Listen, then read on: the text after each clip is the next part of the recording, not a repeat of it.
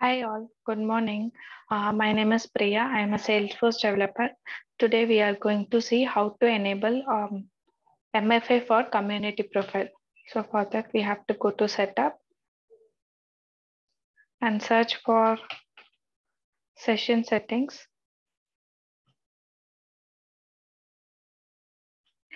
And here we have to make sure there is a multi-factor authentication is enabled under high assurance. Once we have checked this, we have to go into profile.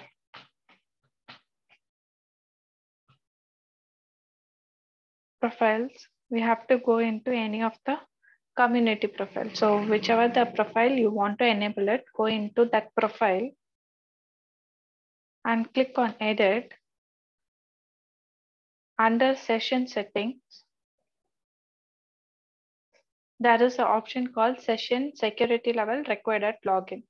So in that, choose high assurance. Once this has been chosen, so whenever the user login with this profile, they are required to have a um, MFA for this profile. So, so this way the we can enable MFA for the community profile user.